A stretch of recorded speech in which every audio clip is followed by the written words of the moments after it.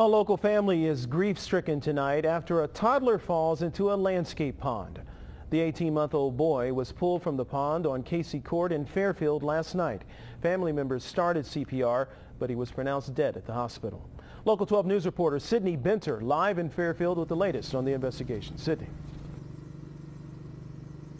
Good afternoon. It has been a somber day in this Fairfield neighborhood. Everyone agrees that what happened to little An Luong was a terrible accident, one that many people can't imagine having to cope with.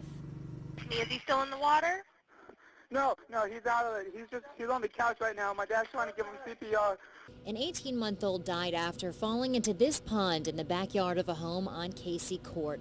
The accident is shaking up neighbors. One mom we talked to as a child the very same age. That's what makes me sad. My heart just really goes out to the family. I mean, I can't imagine, you know, because it's, you can't, I don't know.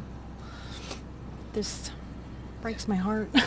Emergency responders are also reeling from the accident. The Fairfield Fire Chief says he's going to recommend post-traumatic counseling for a couple of the medics who responded to the scene. And he has a recommendation for everyone else, too. Oftentimes we relate the depth of the water to the potential for drowning. And that's not the case in any, any situation, and this tragedy brings that to the forefront.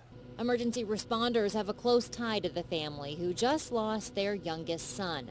The family owns an alteration business and is responsible for keeping the department's uniforms looking their best. Because the majority of our people in the fire department uh, know members of the family and, um, you know, our hearts and souls reach out to them and certainly we'll keep them in our prayers.